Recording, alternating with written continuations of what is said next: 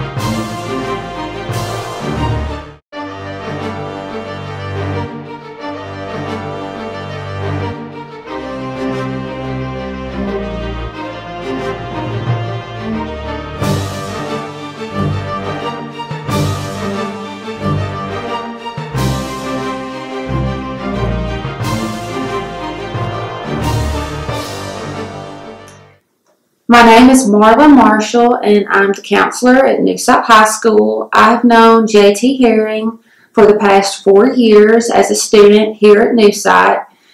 I can say nothing but wonderful things about JT. At the time he's been here as a student, he's been very respectful, very responsible, and very polite. I would definitely say he has been a leader amongst his peers here in our student body. I feel like JT has a very bright and successful future ahead of him. He would be a wonderful addition to any school's program, whether it was academic or athletic. And I feel like JT is going to represent New Site High School and Prentiss County well wherever his path leads him. All right, I'd like to uh, say a few good words about JT Herring. Uh, he came to us in the ninth grade as kind of a skinny, unassuming uh, guy. And since he's been here, he has worked his tail off. He's probably the hardest working kid I've ever had uh, at any point in all the stops I've had. Uh, he was our go-to guy, as you'll be able to see in the film. Uh, this he was 1,400 and something yards as a junior. This past year, he's a little over 1,000, 1,100. Uh, he got hurt in a couple of games, just nicked up, and I held him out because he was our go-to guy, as I said. And so we uh, didn't use him as much this year. And uh, if you needed a yard, he's to get it. Now, there's no doubt. I mean, he's just a hard-nosed kid. He works hard in the weight room. He's going to train to do whatever he's got to do to get where he needs to be. So I, I, I appreciate somebody giving him a look. Thank you.